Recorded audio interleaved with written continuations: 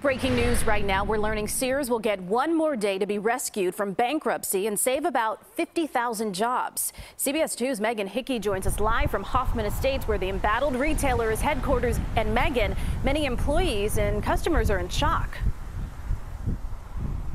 Right, Erica. Many thought liquidation was inevitable, but we're now learning that the 126 year old company may have one lifeline left. A bankruptcy judge in New York is reportedly giving billionaire investor and Sears chairman Eddie Lampert another chance to buy the retailer out of bankruptcy. The $4.4 billion offer is contingent upon Lampert's hedge fund making a $120 million deposit by 4 o'clock tomorrow afternoon.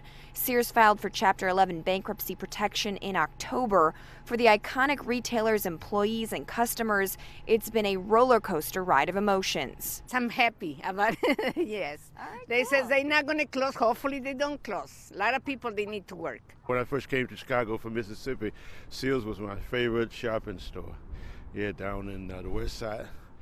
So you're hoping they'll stay open for a yes, long time? yes, yes, ma'am. John Olbrish, chairman of the National Association of Retired Sears Employees, tells me this is a stressful time for current and even former Sears associates who are watching this decision closely.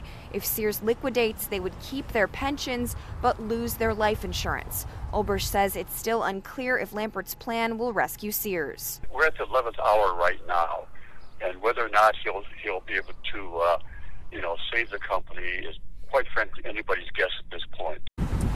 Now, Oberst tells me they'll be looking to see if tomorrow's deadline is met. The next deadline is an auction set for Monday. Live in Hoffman Estates, Megan Hickey, CBS 2 News.